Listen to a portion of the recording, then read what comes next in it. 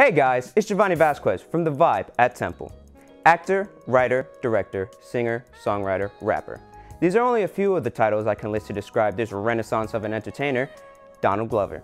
While being nominated and sometimes winning multiple awards across the entertainment spectrum is nothing new to Donald, it was his directing skills that helped him make TV show history. Donald Glover took home the Best Director Award for a TV show comedy for his breakout show, Atlanta, during the 2017 Emmy Awards. He is the first African American to be given this award in the history of the Emmys and has been one of the very few directors to win the award for a show that they also acted in since Alan Alda, who won it for MASH in 1977. Thanks for vibing with us here at TUTV as we observe Black History Month.